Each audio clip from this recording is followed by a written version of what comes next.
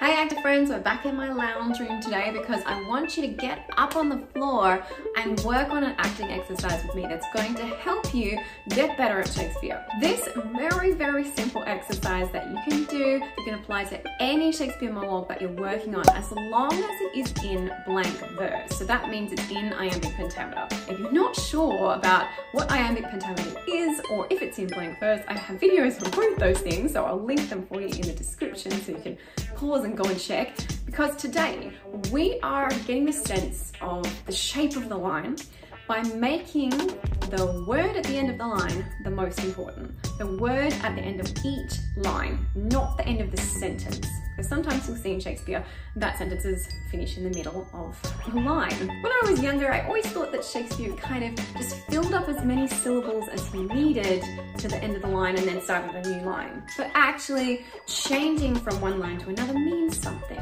You put a word at the end of the line so we would kind of make something of it, emphasize it in some way. Now, sometimes we overthink these things. How do I emphasize it? Or we end up making them the same in that we emphasize them all the same way by yelling them, or maybe always down inflecting at the end of the line. So that's not great. So I want you to get in the body and really start to play around with what these line endings can sound and feel like and how it can help you move from one line to the next. So all you need is a hacky sack.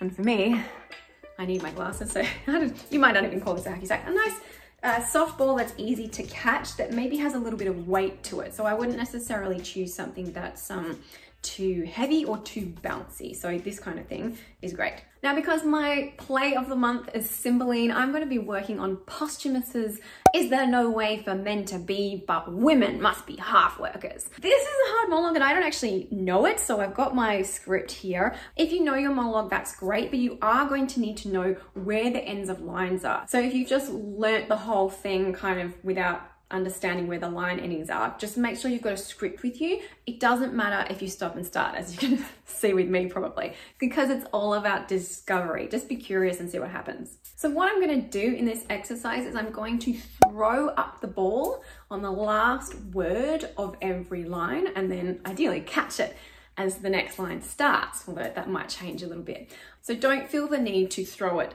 the same way each time. In fact, I would encourage you to try and throw it a slightly different way each time. Something that I want to mention before we go into this is that you really want to try and get your body involved. So don't just stand there and throw it like with your hands or your arms. Yeah, it's light, so you can just kind of flick it up, but you don't want that. The idea here is that you're trying to engage to your core, which is going to help you connect to emotion and it will hopefully naturally, instinctively guide you to what feels right. If you just use your arms, there's no way you're going to connect to any of that stuff. Other than that, there's not really any rules. Right, so let's have a go. There no way for men to be? Okay, here we go. Is there no way for men to be, but women must be half workers? We are all bastards, all. And that most venerable man, which I did call my father, was I know not where when I was stamped. Some coiner with his tools made me a counterfeit. Yet my mother seemed the Dian of that time, so doth my wife the nonpareil of this. Oh, vengeance, vengeance! Me of my lawful pleasure she restrained, and made me oft, and prayed me oft forbearance, did it with a pudency so rosy, the sweet view on it might well have warmed old Saturn, that I thought her, that I thought her as chaste as unsunned snow. Oh, the devils!